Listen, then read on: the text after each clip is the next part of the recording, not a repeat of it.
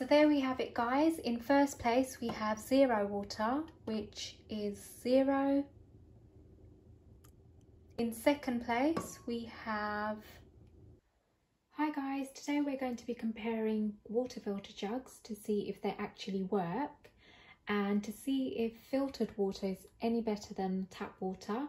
So the zero water comes with a TDS meter which measures the total dissolved solids, which is basically contaminants such as copper, fluoride, lead, mercury, and there's quite a lot to name. Um, so Zero Water, they claim to remove most, if not all of these from the water.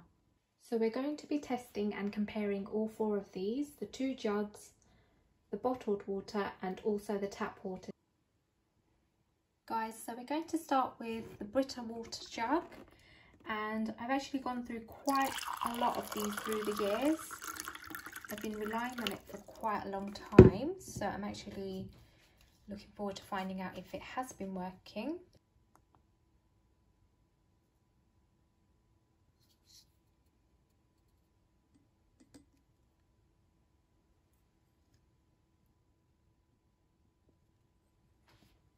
I don't know if you can see that.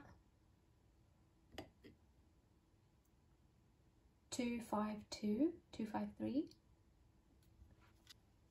That's not too bad. So the moment of truth, guys. Next up is our tap water.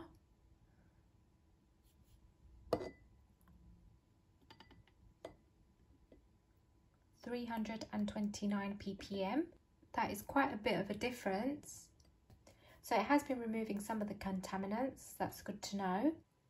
Next up is our zero water.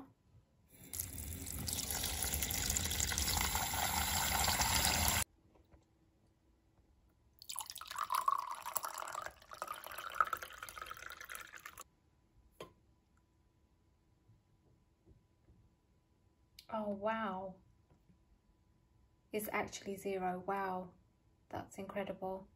So I drink quite a bit of bottled water as well when I'm out and about. Um, the one we usually buy at home is this regular water. It's the cheapest water that you can get.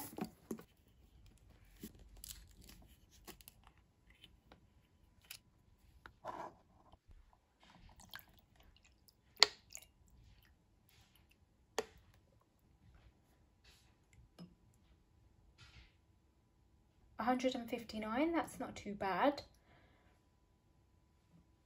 that's not bad at all actually. So the bottled water is not too bad compared to the tap water. So there we have it guys. In first place we have zero water which is zero. In second place we have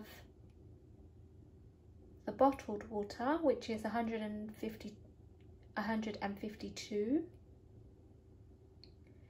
In third place, we have the Brita filter jug, which is 287. And sadly, in the last place, we have our tap water, which is 334.